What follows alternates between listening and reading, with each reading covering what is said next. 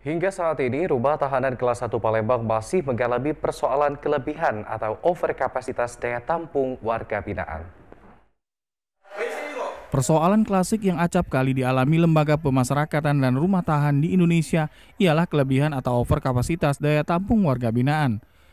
Hal ini juga dialami rumah tahanan kelas 1 Palembang di mana saat ini rumah tahanan yang memiliki daya tampung 750 warga binaan ini justru diisi oleh hampir 1.500 warga binaan. Menurut Kepala Rutan Kelas 1 Palembang, Bistok Olowan Sitongkir, pihaknya akan melakukan pemenahan untuk mengatasi persoalan ini, di antaranya dengan melakukan pemetaan untuk mencegah terjadinya penumpukan tahanan.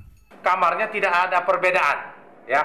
Tetapi kalau seandainya oh, apa namanya sudah kapasitas berlebih, nanti kita siapkan lagi yang kamar-kamar yang bisa dimanfaatkan, ruangan-ruangan yang bisa dimanfaatkan.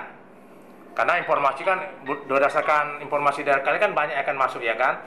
Barangkali kurang ya kita ruangan yang kurang apa kita manfaatkan lagi. Selain itu ditambahkan Bistok dengan persoalan overkapasitas itu membuat jumlah warga binaan tidak seimbang dengan petugas yang berjaga, di mana setiap harinya hanya 15 orang yang melakukan penjagaan terhadap ribuan warga binaan. Tim Liputan TVRI Sumsel melaporkan.